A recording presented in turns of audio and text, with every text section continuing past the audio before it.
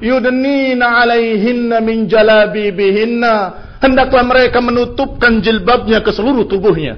Hendaklah mereka memakai hijab dan menutupinya seluruhnya. Ikhwan ibn a'azakumullah kata Ibnu Abbas, makna idna adalah menutupkan ke seluruh tubuhnya kecuali mata lid darurah. Kalau mereka berjalan mutabarrijat. Kalau mereka berjalan dalam keadaan kasiatin, ariyatin, ma'ilatin, mumilatin, ru'usuhunna ka'asrimatil buktil ma'ilah. Wanita-wanita yang memakai pakaian tapi telanjang. Wanita-wanita yang rambutnya disanggul. Wanita-wanita yang demikian-demikian. Yang bertanggung jawab adalah bapak-bapaknya. Yang bertanggung jawab nanti di hadapan Allah. Bagaimana dengan ayat Allah? Qu anfusakum wa ahlikum nara. Apakah kalian tidak memiliki cemburu? Apakah kalian sudah mati rasa cemburunya? Padahal dikatakan la yadkhulul jannata dayyuth. Enggak akan masuk surga dayyuth. Siapa dayyuth?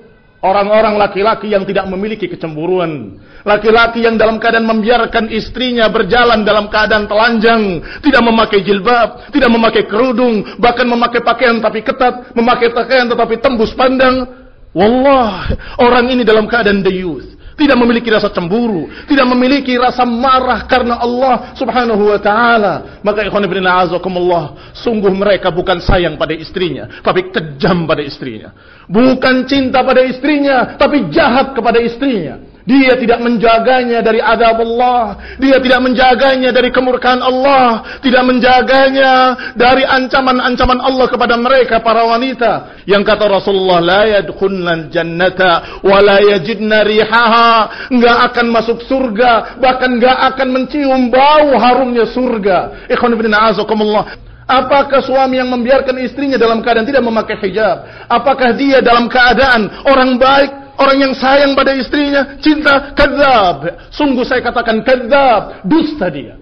Wallahi dia berdusta kepada Allah pertama kali dan kemudian dia berdusta mendustai istrinya sendiri. Aku cinta padamu, aku sayang padamu. Karena dia membiarkannya berjalan di jalan api neraka.